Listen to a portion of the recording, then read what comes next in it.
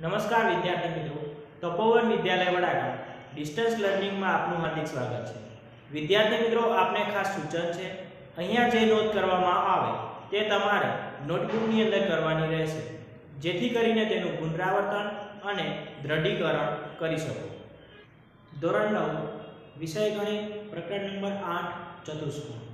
વિદ્યાર્થી મિત્રો, આજે આપણે પ્રમેય આઠ પોઈન્ટ નવ અને આઠ પોઈન્ટ દસની સમજ મેળવવાની છે. પ્રમેય આઠ પોઈન્ટ નવ છે એ સાબિતી સાથે આપણે શીખવાનું છે, જે હવેના પછીના લેક્ચરની અંદર સાબિતી એને જોઈશું. અત્યારે માત્ર એની સમજ મેળવીએ તો પ્રમેય આઠ પોઈન્ટ નવ. ત્રિકોણની બે બાજુઓના મધ્યબિંદુને જોડતો રેખાખંડ ત્રીજી બાજુને સમાંતર થાય અને તેનાથી અડધો થાય. તો આપણે આકૃતિ દ્વારા સમજીએ તો સરળતાથી ખ્યાલ આવી જશે. ત્રિકોણની વાત કરવામાં આવી છે, તો આપણે એક ત્રિકોણ દોરી દઈએ. ધારો કે અહીંયા એક ત્રિકોણ દોર્યો, ત્રિકોણ એ B, C. હવે એની અંદર એવું કહેવામાં આવ્યું છે કે એના બે બાજુના મધ્ય બિંદુ તો ધારો કે B AB બાજુ છે, એનું મધ્ય બિંદુ એટલે વચ્ચોવચ આવેલું હોય. AC બાજુ છે, એનું મધ્ય બિંદુ એ પણ એના મધ્યમાં આવેલું હોય. એને જોડતો રેખાખંડ તો આ જે બે બિંદુ છે મધ્ય બિંદુ, એને જોડતો જે રેખાખંડ છે, એનું નામ આપણે આપી દઈએ PQ બરાબર છે? તો આ જે રેખાખંડ છે, એ ત્રીજી બાજુ. આ બે બાજુ થશે.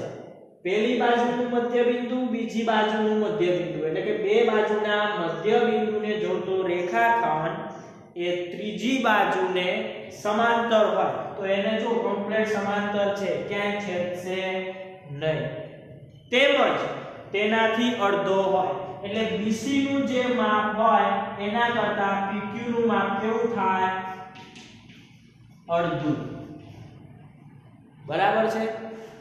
પ્રમેય 8.9 એને બીજા કયા નામે ઓળખવામાં આવે છે? તો અહીંયા આપણે સાથે સાથે લખી દઈએ કે મધ્ય બિંદુ પ્રમેય.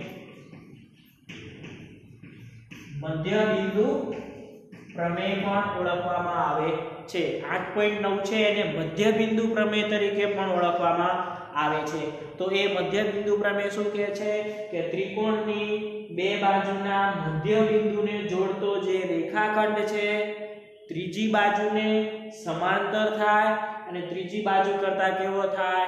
અડધો થાય. તો હવે આપણે એના માટે લખી શકીએ કે જે PQ છે એ શું થવાનું? સમાંતર ત્રીજી બાજુ, એટલે કે BC PQ અને BC છે એ સમાંતર બાજુ થવાની. તેમજ આ PQ નું જે માપ છે PQ નું જે માપ છે, એ અડધું થશે. કોનાથી? તો રેખાખંડ BC કરતા. એટલે આ રીતે લખી શકાય કે PQ નું જે માપ છે, એ અડધું થાય, એટલે કે 1 હાફ કોના કરતા?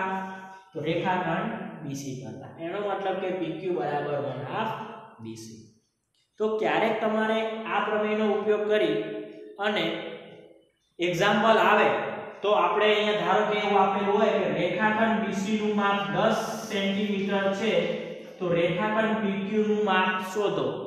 તો રેખાખંડ PQ નું માપ કેટલું થાય? BC નું માપ 10 છે, તો મધ્ય બિંદુને જોડતો જે રેખાખંડ છે, એનું માપ અડધું થાય. એનો મતલબ કે એનું માપ કેટલું થાય? 5 સેન્ટીમીટર થાય. તો આ થશે પ્રમેય 8.9 મધ્ય બિંદુ પ્રમેય. પ્રમેય 8.10 છે, એ એના જેવો છે, માત્ર એની વાક્ય રચના અલગ છે.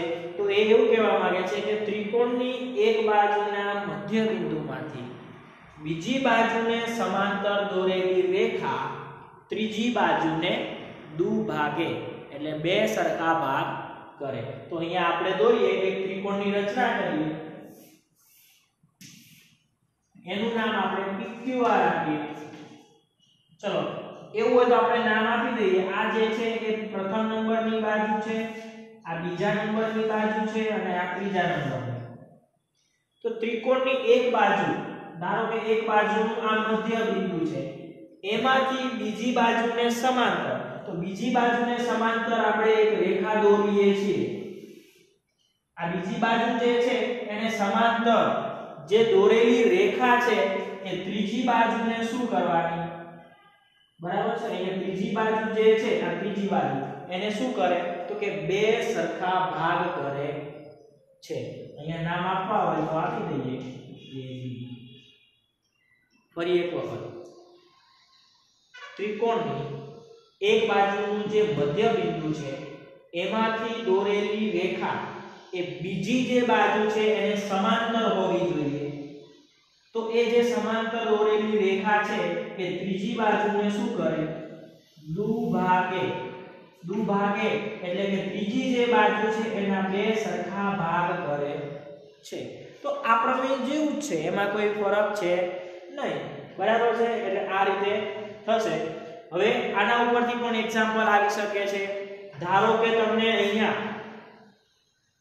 PR નું માપ આપેલું હોય, તો પીબી નું માપ કેટલું થાય? PR નું જે માપ હોય, એના કરતાં PB નું માપ કેવું થાય? અડધું થાય. કારણ કે એ શું કરે છે? ત્રીજી બાજુને દુભાગે છે. તો આ થશે પ્રમેય 8.10 પ્રમેય 8.9 હવે, ચતુષ્કોણ, સમાંતર બાજુ ચતુષ્કોણ, સમબાજુ ચતુષ્કોણ, લંબચોરસ અને ચોરસ. આ જે આકાર આપેલા છે. એમના મધ્ય બિંદુને જોડવાથી કયો આકાર મળશે એ આપણે જોવાનું છે. તો અહીંયા ચતુષ્કોણ આપેલો છે.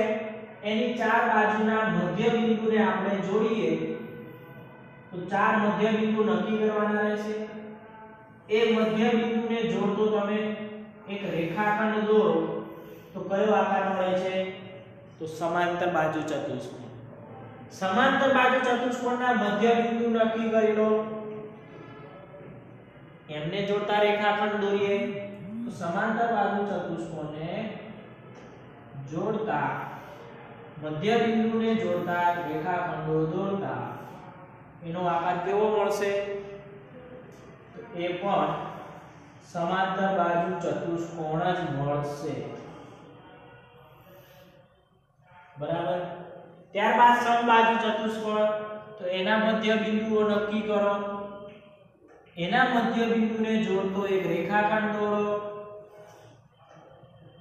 તો કેવો આકાર મળશે? લંબચોરસ.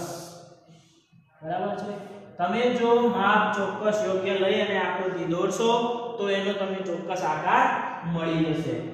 અહીંયા લંબચોરસની વાત કરવામાં આવી છે, તો એના મધ્ય બિંદુને જોડતા રેખાખંડ દોરીએ. સૌથી પહેલા મધ્ય બિંદુ નક્કી કર્યા.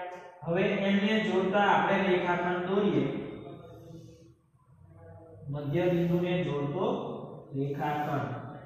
તો એનો આકાર કેવો મળે છે? તો આ મળશે સમબાજુ ચતુષ્કોણ.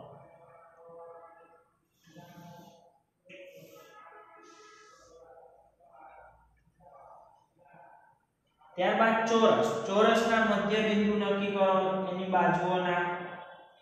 એ બાજુના જે મધ્ય બિંદુ છે એને જોડતો રેખાખંડ દોરો.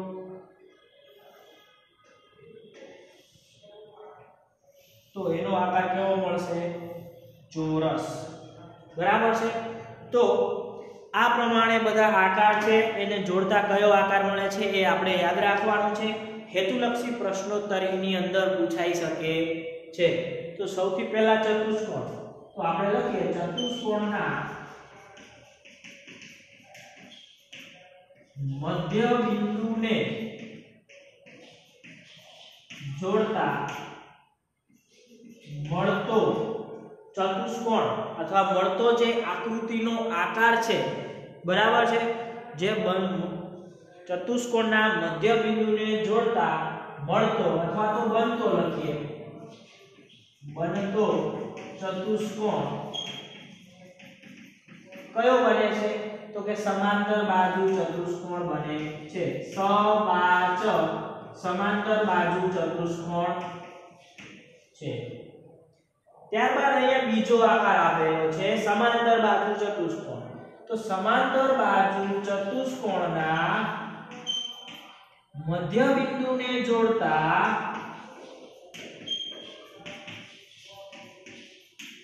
જે બનતો ચતુષ્કોણ છે એ કેવો છે? તો એ પણ કેવો છે? સમાંતર બાજુ ચતુષ્કોણ. સામસામેની બાજુ સમાંતર અને સમાન છે. એટલે જે ચતુષ્કોણ છે એ કયો બને છે? સમાંતર બાજુ ચતુષ્કોણ છે. ત્યારબાદ ત્રીજો આકાર, સમબાજુ ચતુષ્કોણ. તો સમબાજુ ચતુષ્કોણના મધ્ય બિંદુને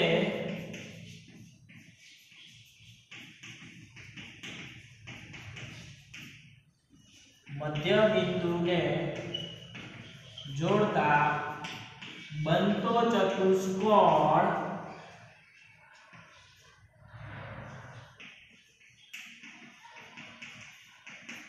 ચલો, એ સમબાજુ ચતુષ્કોણ છે, એના મધ્ય બિંદુને જોડતા જે ચતુષ્કોણ બને છે, એ કેવો બને છે? લંબચોરસ. બરાબર? લંબચોરસ બનશે. આપણે આ યાદ રાખીશું. ત્યારબાદ લંબચોરસ.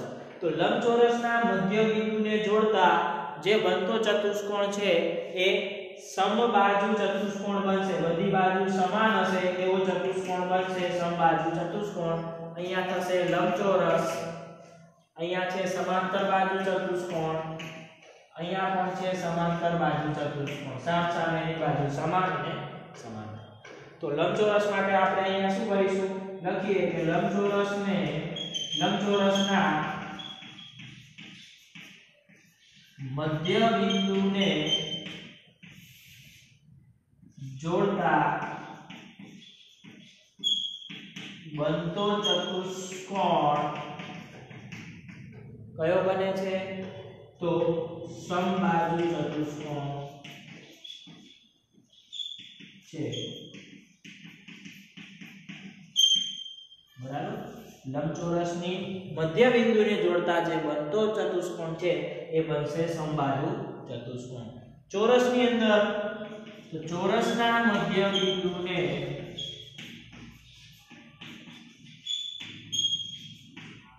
જોડતા બનતો ચતુષ્કોણ